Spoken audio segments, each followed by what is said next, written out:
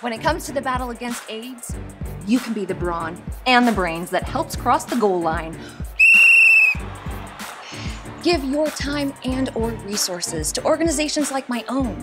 www.wecanstopAIDStogether.com. Join us and find out how you can be part of the team and stop AIDS from getting another first down. And to support AIDS awareness, watch the original television movie Diary of a Housewife with AIDS.